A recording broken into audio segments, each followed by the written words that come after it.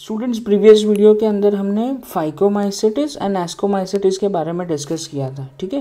Now in this video will discuss about the basidiomycetes and deuteromycetes तो students first की कोई भी fungus है, हमको माइसेलियम उसका याद रखना ही है, ठीक है?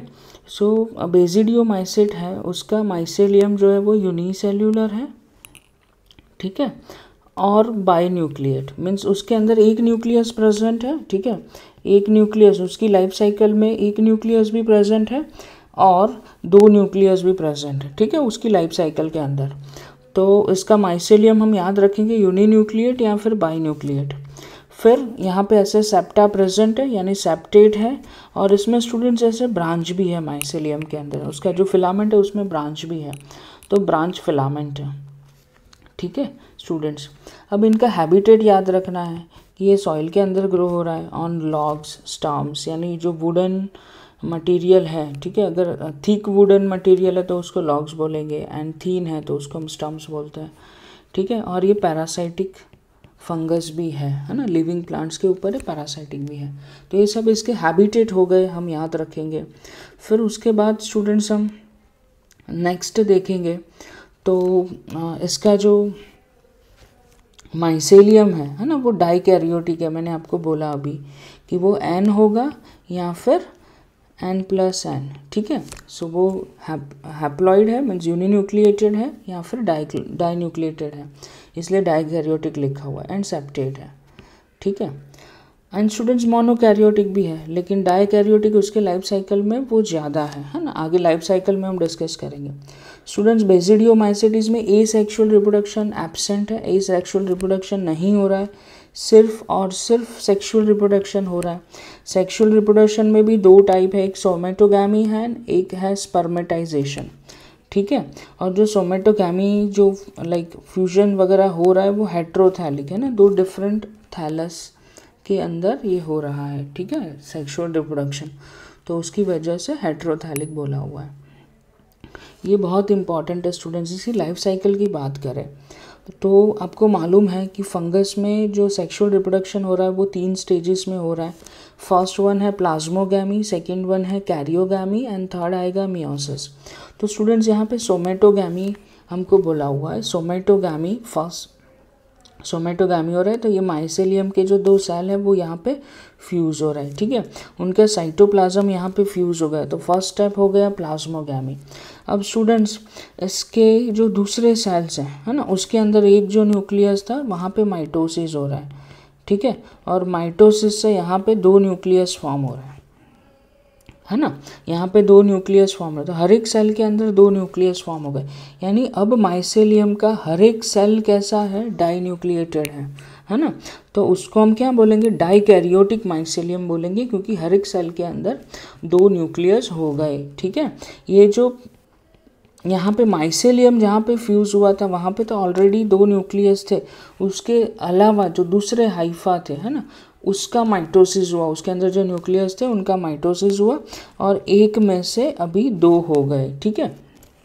चलो तो ये जो प्रोसेस है ना, पहले एक न्यूक्लियस था, अभी उसका माइटोसिस और दो न्यूक्लियस हो गए, हर एक सेल के अंदर। तो वो प्रोसेस को हम बोलेंगे डाइकैरियोटाइजेशन ठीक है?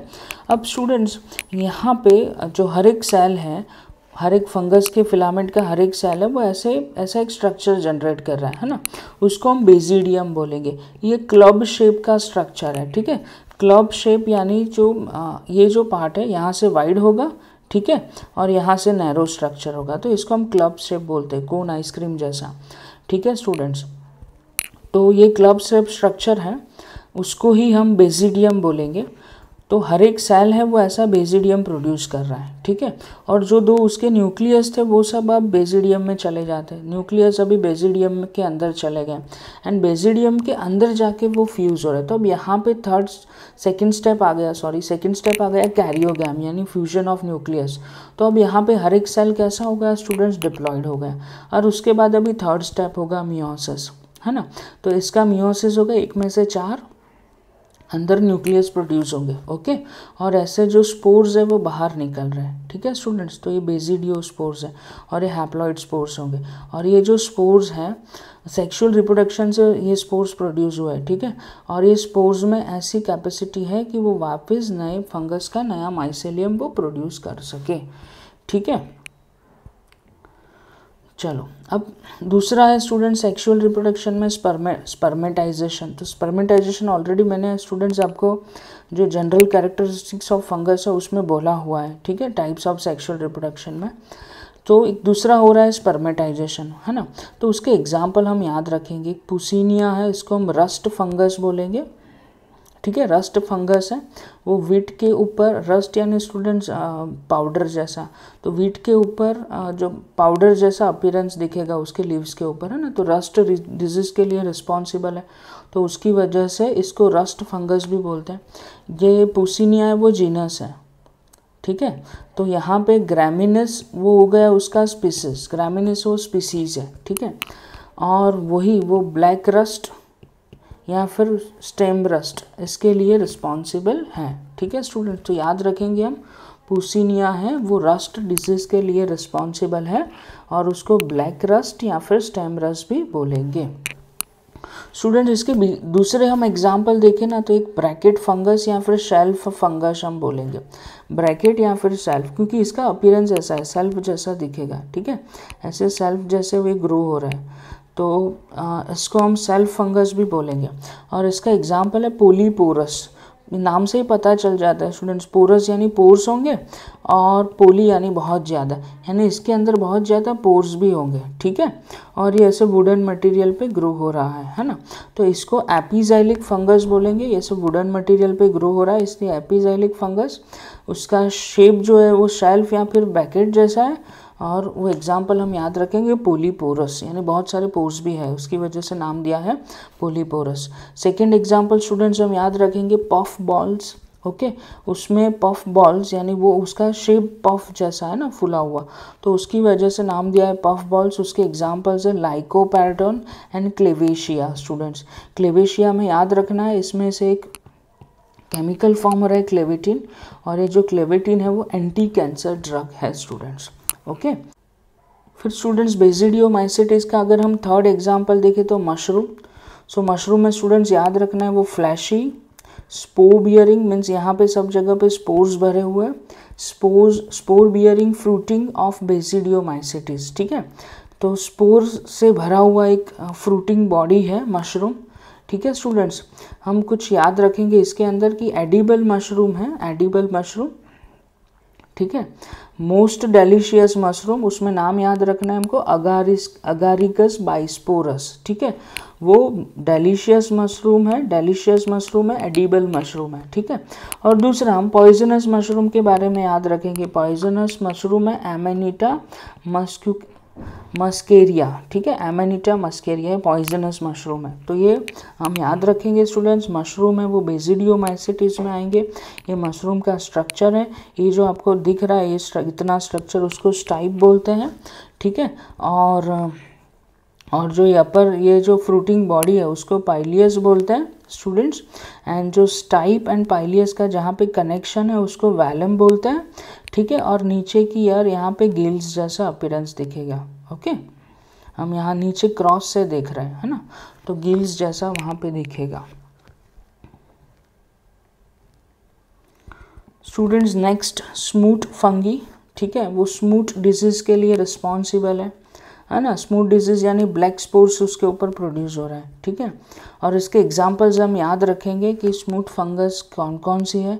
तो उस्टीलेगो नूडा या फिर उस्टीलेगो ट्राइटिसी है ना? यूस्टीलेगो हमको याद रखना है ठीक है? वो जीनस है है ना? और वो वीट के अंदर स्मूथ डिज़ीज़ के लिए रिस्पॉन्सिबल है ठीक है स्टूडेंट्स ओके okay, और ये दूसरा इंपॉर्टेंट मैंने आपको बोला था कि बेसिडियोमाइसिट को क्लब फंगस भी बोलते हैं क्योंकि इसमें ऐसा क्लब जैसा स्ट्रक्चर प्रोड्यूस हो रहा है, ठीक है? मैंने आपको बोला था कौन जैसा स्ट्रक्चर प्रोड्यूस हो रहा है तो उसकी वजह से इसको क्लब फंगस भी बोलते हैं ओके चलो स्टूडेंट्स अब फोर्थ फंगस की हम बात करते हैं। फोर्थ फंगस है ड्यूटेरोमाइसेटिस है ना? स्टूडेंट्स इसको फंगस इम्परफेक्ट भी बोलते हैं। परफेक्ट फंगस नहीं है। क्योंकि इसके अंदर perfect stage of sexual reproduction absent है। सेक्सुअल रिप्रोडक्शन स्टूडेंट्स नहीं हो रहा है। ठीक है? या फिर ऐसे फंगस की जिसके अंदर सेक्सुअल रिप्रोडक्शन अभी तक डिस्कवर नहीं हुआ है। ओके अभी तक डिस्कवर नहीं हुआ है या फिर सेक्सुअल रिप्रोडक्शन नहीं होता है। वो सारे फंगस को यहाँ पे रखा हुआ है। If sexual reproduction is discovered अगर कोई फंगस है, उसमें अगर मिल जाता है सेक्सुअल रिप्रोडक्शन तो उसको, उसके अकॉर्डिंग एस्कोमाइसिटीज़ या फिर बेसिडियोमाइसिटीज़ के अंदर रख देता है। ठीक है? लेकिन जिसका सेक्सुअल रिप्रोडक्शन डिस्कवर नहीं हुआ है, या फिर एबसेंट है, वो सारे फंगस को यहाँ पे ड्यूट्रोमाइसिटीज में हम रखते हैं। ठीक है? इसके माइसिलियम की बात करें तो स्टूडेंट्स माइसिलियम सेप्टेट है एंड ब्रांच्ड है है ना? याद रखना है स्टूडेंट्स ठीक है? जो फ़र्स्ट फंगस था ना फाइकोमाइसेटिस ठीक है? उसके अंदर माइसेलियम है, उसमें सेप्टा प्रेजेंट नहीं था। ठीक है? उसके बाद सेकेंड जो फंगस था एस्कोमाइसिटिस उसके अंदर सेप्टा प्रेजेंट था, लेकिन उसके अंदर पोर्स थे। और उसके बाद जो हम आज दो पढ़ रहे हैं बेजिडियोमाइसिटिस एंड ड्यूट्रोमाइसिटिस उसमें सेप्टा भी है एंड ब्रांच भी है। ठीक है? तो स्टूडेंट्स इसमें सेक्शुअल रिप्रोडक्शन तो नहीं हो रहा है या फिर डिस्कवर नहीं हो रहा है, नहीं हुआ है। तो ए सेक्शुअल रिप्रोडक्शन में हम याद रखेंगे कॉनिडियल स्पोर्स है ना mode of nutrition student saprophytic है एंड पैरासाइटिक दोनों इसके मोड ऑफ़ न्यूट्रिशन है।